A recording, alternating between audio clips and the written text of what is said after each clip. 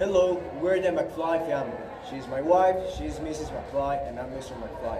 We're here to teach our sons about the realization literature of our country, America. Okay, let's see. I'm going to teach them about encounter and foundations, the beginning of everything. I am going to teach them about romanticism in each of its subdivisions. I am the eldest of the McFlys, uh, and I'm going to show you the contemporary period. I'm the middle son of the McFly family, and I'm gonna show you the realism period. And I'm the youngest of the McFlys, and I'm gonna show you the uh, modernism period. Okay, let's see. Let's start.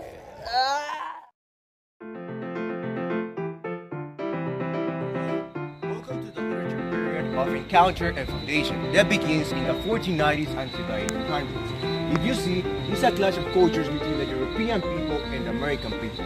Okay, let's go to the next subdivision. During the colonial period in America, the first written appeared in Jamestown Bill in 1607. Okay, now let's go to the other subdivision. In the subdivision of Revolutionary Age, the greatest documents of America were written. Oh, I don't know how to start this.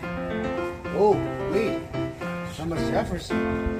Hey, Yes, sir. Um, I don't know how can I start the Declaration of Independence of America. Can I have your assistance? what about if you begin with we people? Oh, that's good. Thank you, sir. Hello, welcome to the last subdivision about encounter of foundation.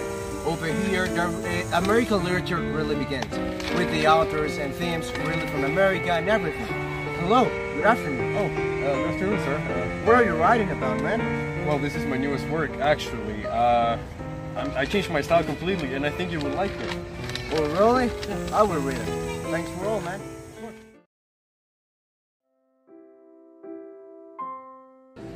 Welcome to the Romanticism period, from 1800s to 1860s.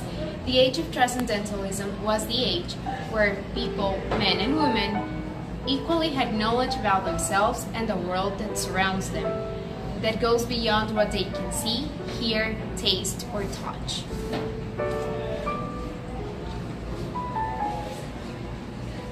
Oh, sir, is this yours? Uh, I think it's not mine. Are you Ralph Waldo? Yeah, I'm May I ask you some questions? Oh, sorry. I wasn't a thing right now, but uh, we can we may talk later. Okay, thank you. For the dark romantics, the natural world was dark, decaying, and mysterious. And when it comes to reveal the truth to man, its revelations are evil and hellish. Oh, this is so depressing. Can we change the color? Okay, sure. Thank you. Look who we have here. Edgar Allan Poe. Are you always this sad? Just, just leave me alone, please. I need to grieve. Go. Thank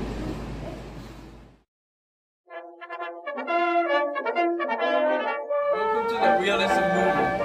This period that lasted from 1860 to 1914 was mainly centered in fiction, but at the same time, realists centered themselves in everyday common people and events.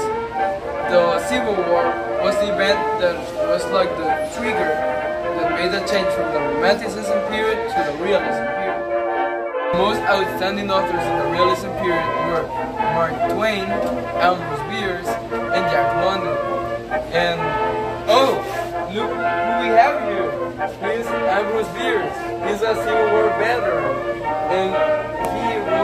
one of his most famous stories, known as "An Occurrence at Owl Creek Bridge."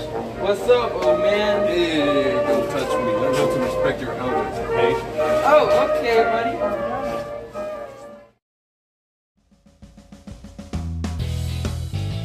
Hi, and welcome to the Modernism period, which spanned from the years 1915 to 1939. Uh, it started right after World War One in the year 1915, and it is characterized known as the Roaring Twenties.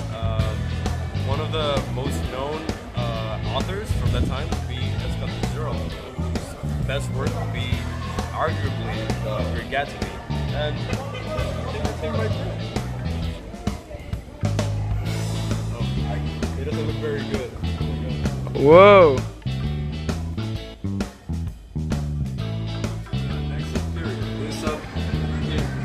What are you doing? Hey, I just miss it. I miss smoking.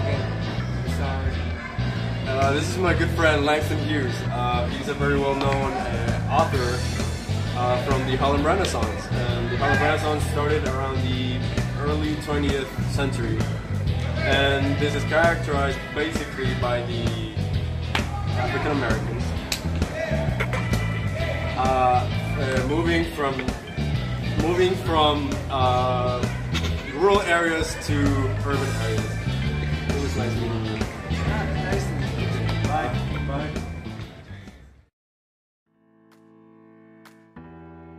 This is a contemporary period, more specifically, the big immigration of Jews to the US. This period is characterized by the Jews because of the war traveling to the US for security, like my friend Mr. Bellow. Yeah, you should read my novel, published in 1944, known as The Dangling Man, based on my experience at the war. This is the next subdivision known as Beat Generation. This period is characterized by the alienation and sexuality shown on the content of the books. Like my friend William Burroughs. That's right, kid. I am a heroin addict, and I'm proud of it, and that's how I wrote my book, Naked Lunch. You should read it. Well, nice to meet you. It was a pleasure.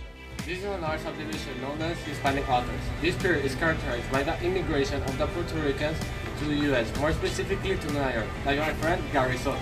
Nice to meet you. Hello. First, I focused myself on poetry. Then I wrote my most famous book, Baseball in April. Now, get out of here, Chico. Ah, well. The last subdivision is the American authors of the 21st century. This period is characterized by the variety of topics presented and the recent events that happened but being inspired the authors. Like my friend John Grisham. Tell me more about yourself. I worked as an attorney in Mississippi. Later, I became a best-selling novelist. And by inspiration, I wrote uh, my book, Rogue Lawyer.